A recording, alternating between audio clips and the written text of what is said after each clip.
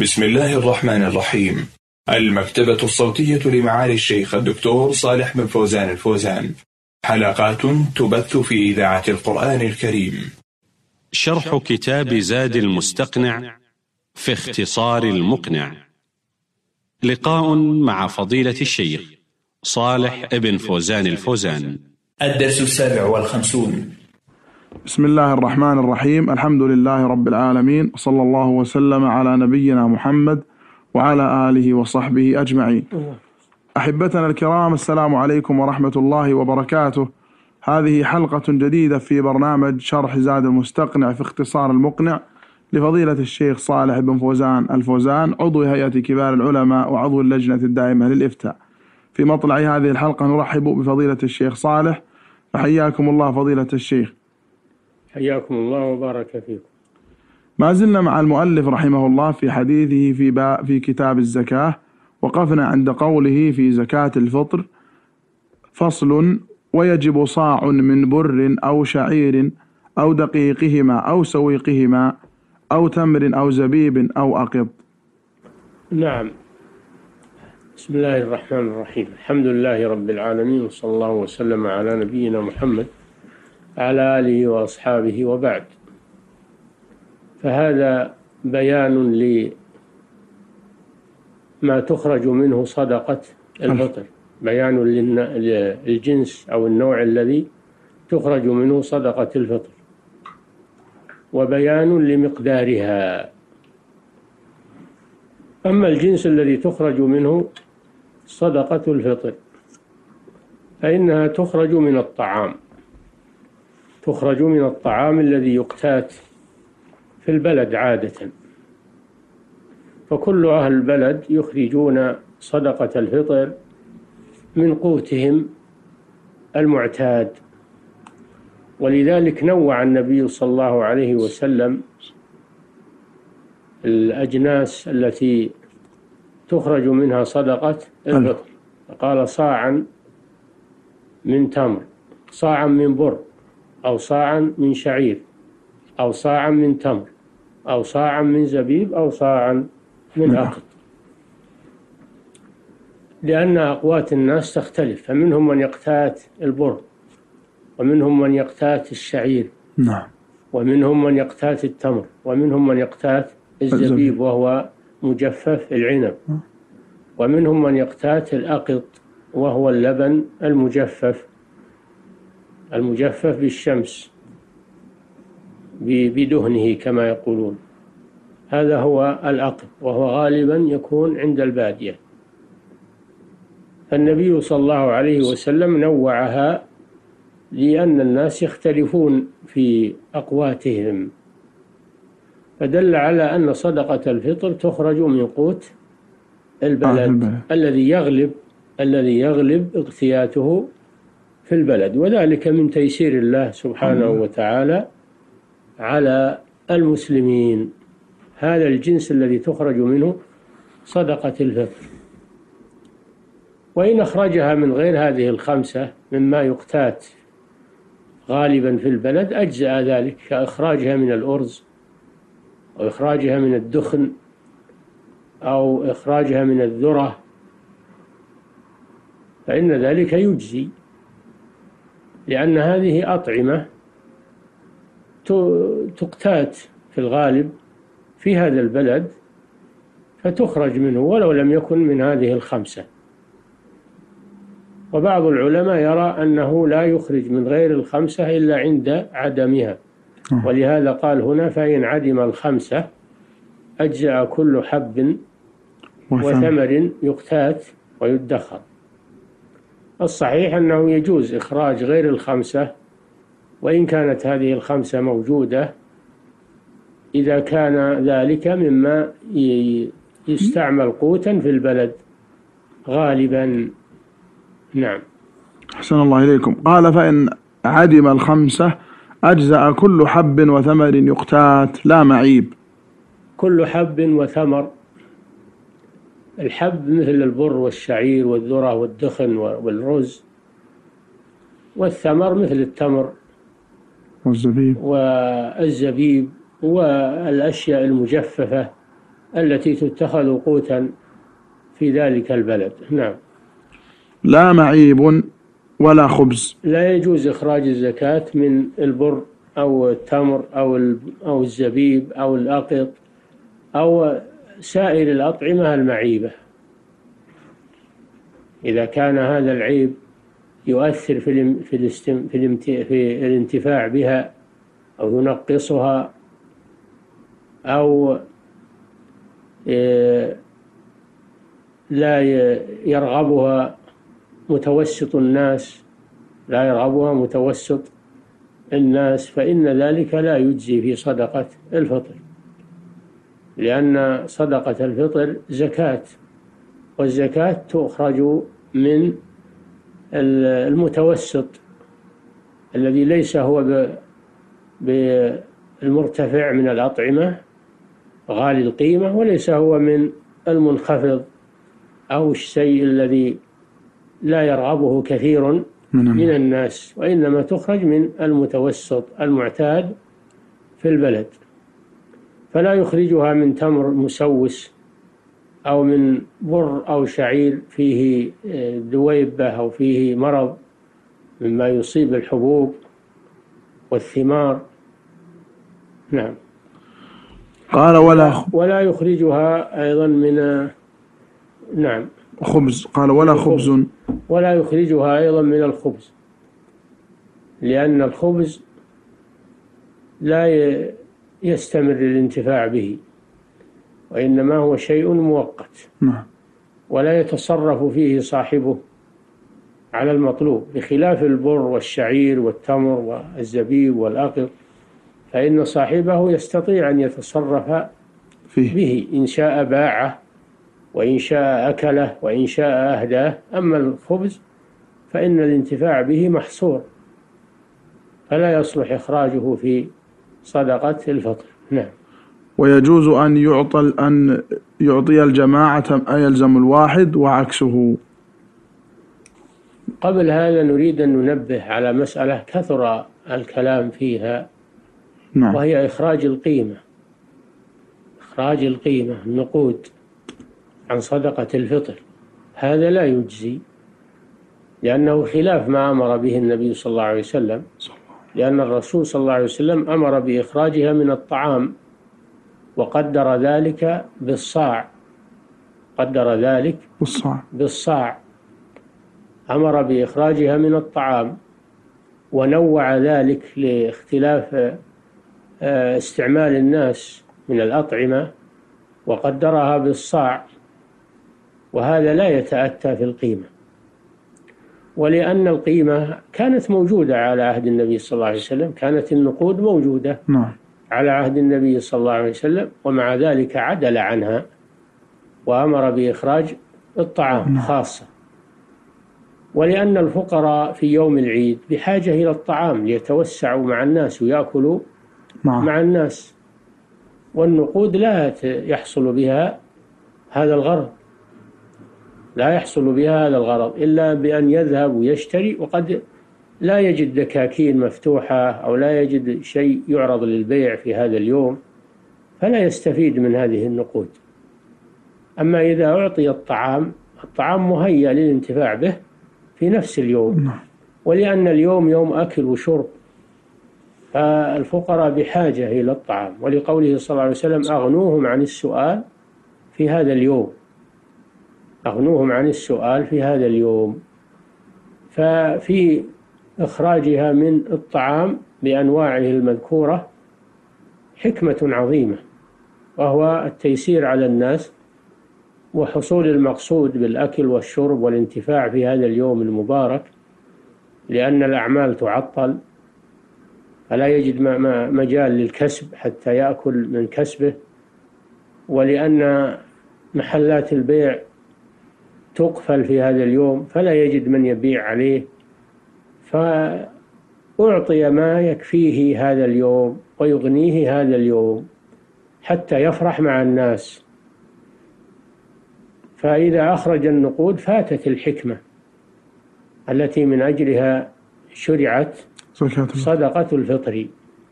هذه مسألة مهمة. نعم. وهذا قول جمهور أهل العلم والأئمة الثلاثة. مالك والشافعي وأحمد وجمهور أهل العلم. وأجاز أبو حنيفة رحمه الله إخراج القيمة ولكن هذا خلاف النص واجتهاد مع النص ولا يجوز الاجتهاد مع وجود النص. ولهذا لما سئل الإمام أحمد رحمه الله عن إخراج القيمة وأن فلانا أفتى بإخراج القيمة قال رحمه الله يدعون قول رسول الله صلى الله عليه وسلم ويأخذون بقول فلان. فالواجب العمل بالنص. نعم. والحكمة كما ذكرنا إنما تحصل وتتأتى من إخراج ما دل عليه النص. أما إذا أخرج من غير ما دل عليه النص فاتت الحكمة. نعم. أحسن الله إليكم. قال ويجوز أن يعطى الجماعة ما يلزم الواحد وعكسه. يجوز أن يعطي الجماعة يعني عدة أفراد من الفقراء ما يلزم الواحد بأن يعطيهم صاع عن واحد وهم جماعة ويشتركون في هذا الصاع. يجوز أن يدفع الصاع لأهل بيت من الفقراء مم. مثلا لعائلة لا بأس بذلك والعكس. أن يعطي الواحد ما يلزم الجماعة. مثلا صدقة خمسة أفراد يعطيها لشخص واحد. لأن لأنه لم يرد تحديد في من تعطى صدقة الفطر وإنما خص ذلك بالفقراء فقط سواء كانوا أفرادا أو جماعات أو كانوا جماعات. نعم. أحسن الله إليكم. قال رحمه الله باب إخراج الزكاة. نعم. باب إخراج الزكاة يعني زكاة الفطر. زكاة المال.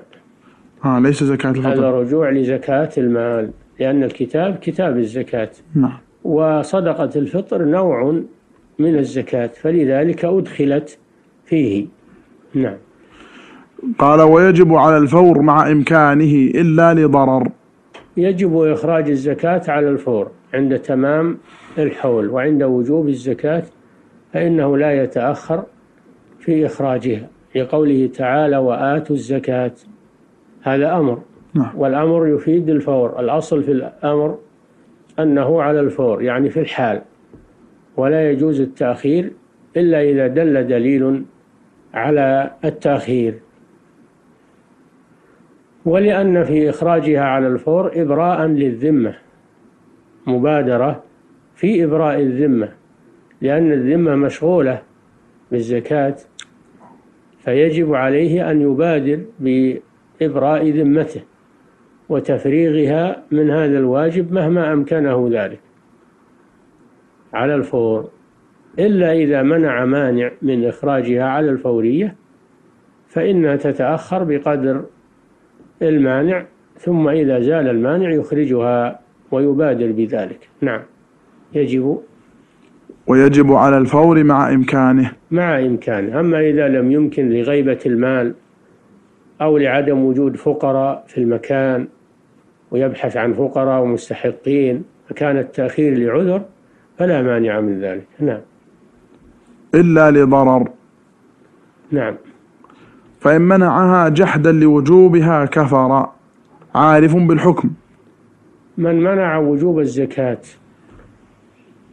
جحدا لمن وجع من من منع الزكاة.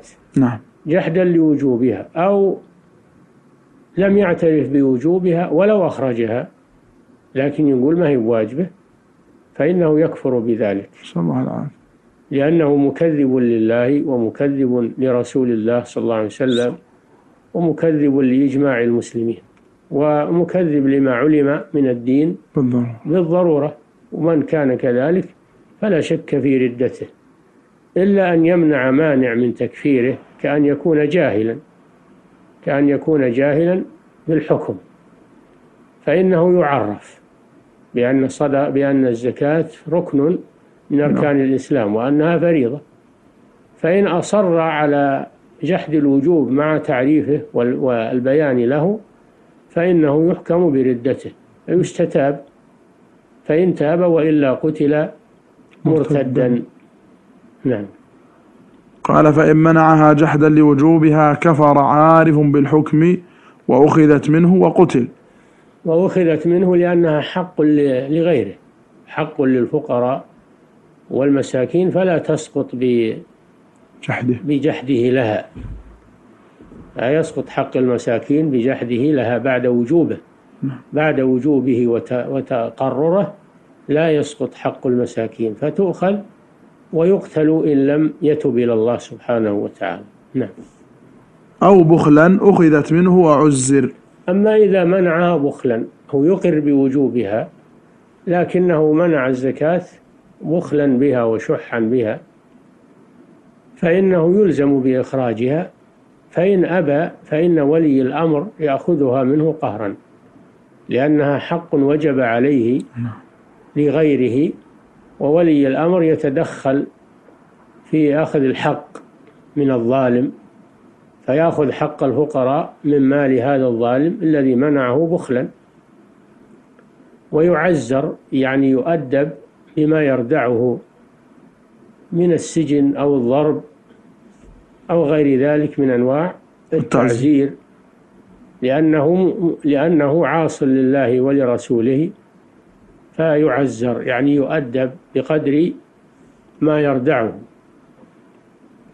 وإن كان الذي منع الزكاة وهو يقر بوجوبها منعه البخل من إخراجها وله شوكة يعني قوة فإنه يجب أن يقاتل. يجب أن يقاتل حتى تخرج منه الزكاة.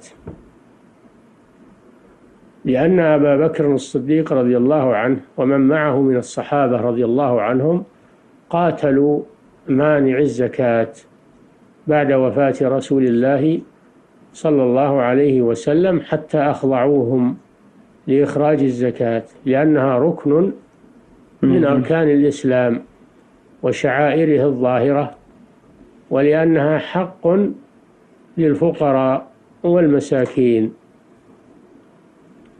وقد جاء الوعيد الشديد على مانع الزكاة جاء الوعيد الشديد قال تعالى والذين يكنزون الذهب والفضة ولا ينفقونها في سبيل الله فبشرهم بعذاب أليم يوم يحمى عليها في نار جهنم. فتكوى بها جباههم وجنوبهم وظهورهم هذا ما كنزتم لأنفسكم فذوقوا ما كنتم تكنزون ما شاء الله. هذه في الذين يمنعون الزكاة إخراج الزكاة الذهب والفضة, والفضة.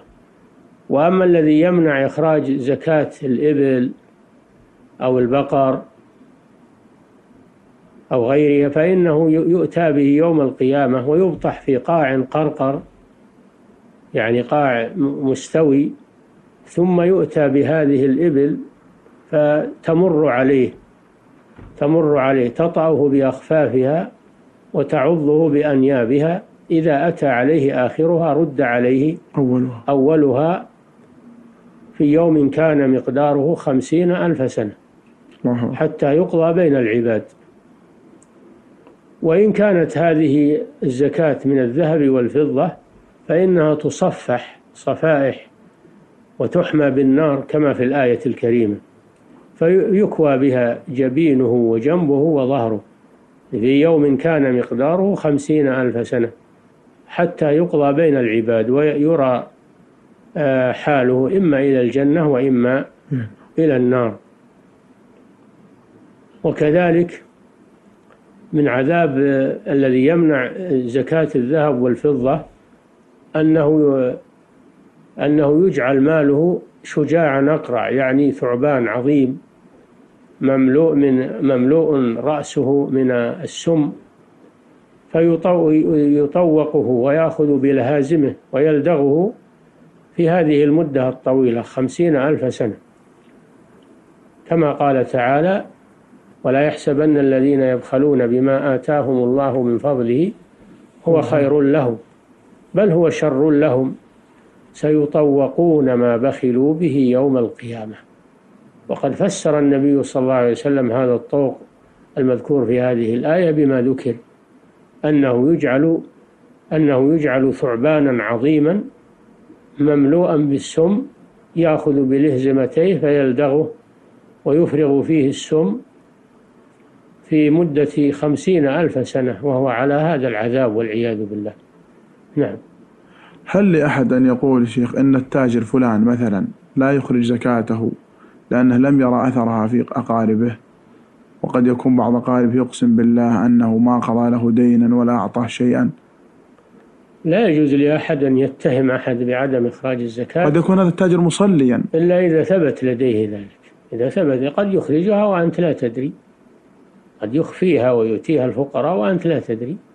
فلا تحكم عليه أنه ما يخرج الزكاة إلا إذا ثبت لديك ذلك. بدليل. نعم.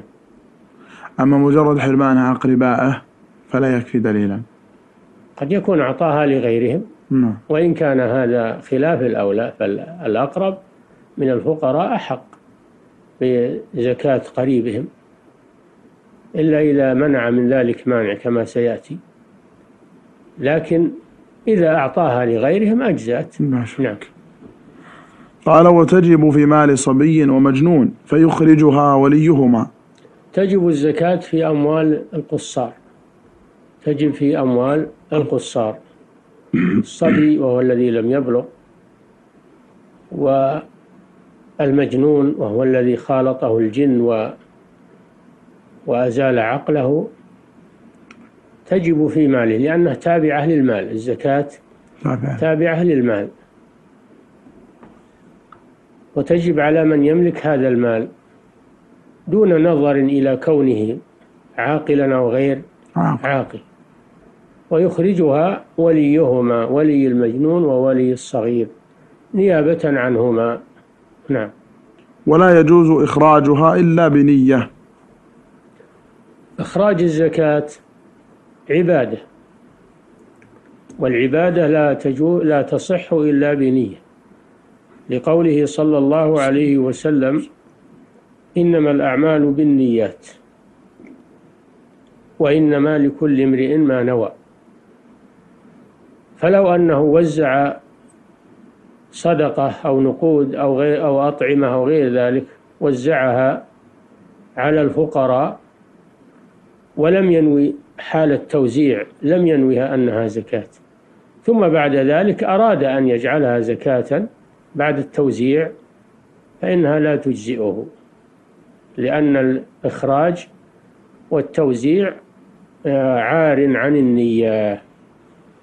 والأعمال لا تصح إلا بنية العبادات. نعم. والأفضل أن يفرقها بنفسه. الأفضل أن المزكي يوزع الزكاة بنفسه فيحصي ماله ويخرج زكاته ويوزعها هو بنفسه ليتأكد من وصولها إلى الفقراء.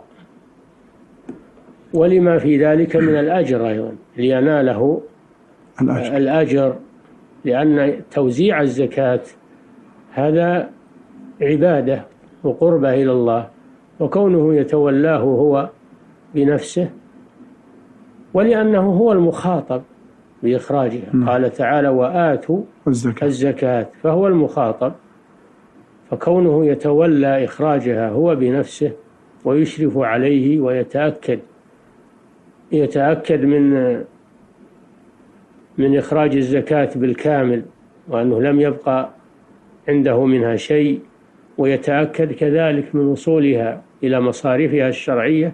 هذا أبرأ لذمته مع ما له من الأجر في ذلك لأن توزيعه لزكاته هذا عمل صالح. نعم. أحسن الله إليكم. قال ويقول عند دفعها هو و... ويجوز أن يوكل يجوز أن يوكل من يخرجها أن يوكل مسلما عنده الكفاية والمقدرة على إحصاء المال وإخراج الزكاة منه وتوزيع ذلك على الفقراء. يجوز أن يوكل من ينوب عنه في ذلك لأن هذا هذه عبادة مالية والعبادات المالية تدخلها النيابة. نعم. قال ويقول عند دفعها هو وآخذها ما ورد. يستحب أن يقول عند دفعها هو وآخذها المدفوعة إليه ما ورد. المدفوعة إليه من الفقراء أو من ولي الأمر إذا كان ولي الأمر أو العمال الذين يرسلهم ولي الأمر يأخذون الزكاة فإنه يستحب أن يقول هو آه، يقول هو اللهم اجعلها مغنما ولا تجعلها مغرما. هذا الذي يقوله الدافع. وأما الآخذ فيقول تقبل الله منك ما أعطيت وبارك لك فيما أبقيت وجعله لك طهورا. لأن النبي صلى الله عليه وسلم كان إذا جاءه أهل الصدقات بصدقاتهم دعا لهم وصلى عليهم لقوله سبحانه خذ من أموالهم صدقة تطهرهم وتزكيهم بها وصل عليهم. صل عليهم معناه أدعو. لهم لأن الصلاة في اللغة الدعاء. الدعاء فيدعو لهم يدعو لهم بالقبول ويدعو لهم بالمغفرة والبركة. هذا السنة. نعم. قال والأفضل إخراج زكاة كل مال في فقراء بلده. الأفضل إخراج زكاة كل مال في فقراء بلده لأنهم أحق بذلك لأن المال عندهم وهم فقراء وينظرون إلى هذا المال فهم أحق أو أولى بزكاة هذا المال. ولقوله صلى الله عليه وسلم في حديث معاذ رضي الله عنه أخبرهم أن الله افترض عليهم صدقة تؤخذ من أغنيائهم فترد في فقرائهم. فالأصل أن زكاة المال توزع في البلد الذي فيه المال من فقراء المسلمين. نعم. ولا يجوز نقلها إلى ما تقصر فيه الصلاة فإن فعل أجزأت. ويجوز إخراجها فيما قرب من البلد. مما هو دون مسافة القصر. القصر لأنه يصبح كالبلد الواحد. أما ما بلغ مسافة القصر فهذا لا يجوز نقل الزكاة إليه إلا عند الضرورة. إلا عند الضرورة, الضرورة. فإذا لم يوجد فقراء في البلد ولا من حوالي البلد وبلغ مسافة قصر كله ما فيه فقراء يجوز نقلها إلى بلد فيه الفقراء. أينما كان؟ لأجل الضرورة. أما ما دام يوجد فقراء في البلد أو مما حواليه فإن الزكاة تكون لهؤلاء. نعم. قال إلا أن يكون في بلد لا فقراء فيه فيفرقها في أقرب البلاد إليه. نعم. فإن كان في بلد وماله في آخر أخرج زكاة المال في بلده وفطرته في بلد هو فيه. نعم الغني تجب عليه وهو المراد بالغني هنا من يملك النصاب فأكثر. هذا هو الغني من يملك النصاب فأكثر. هذا تجب عليه زكاتان زكاة الفطر هذه زكاة عن البدن وزكاة المال. فيخرج زكاة الفطر في البلد الذي هو فيه. يخرج صدقة الفطر في البلد الذي هو فيه. الذي هو فيه لأنه تابعة للبدن. ويخرج زكاة المال في المال الذي فيه المال في البلد الذي فيه المال. الذي فيه المال لأن صدقة كل مال توزع في فقراء بلده كما سبق. نعم. ويجوز تعجيل الزكاة لحولين فأقل ولا يستحب. لا تجب زكاة لا يجب إخراج الزكاة إلا عند تمام الحول. إلا عند تمام الحول. الحول. لقوله تعالى وآتوا حقه يوم, حصاد. يوم حصاده. عند تمام الحول. ويجوز إخراجها قبل الحول وهو ما يسمى بالتعجيل. يجوز أن تعجل الزكاة. الزكاة قبل الحول إذا دعت إلى ذلك حاجة. لأن النبي صلى الله عليه وسلم تعجل من عمه العباس زكاة سنتين. فعند الحاجة يجوز أن يخرج الزكاة قبل تمام الحول. نعم. أحسن الله إليكم ونفع بعلمكم. أحبتنا الكرام إلى هنا تنتهي هذه الحلقة من شرح كتاب زاد المستقنع في اختصار المقنع لفضيلة الشيخ صالح بن فوزان بن عبد الله الفوزان عضو هيئة كبار العلماء وعضو اللجنة الدائمة للإفتاء. شكر الله لشيخنا ما تكرم به من البيان وشكر لكم حسن استماعكم ونفعنا وإياكم بما نقول ونسمع. حتى نلقاكم نستودعكم الله. والسلام عليكم ورحمة الله وبركاته.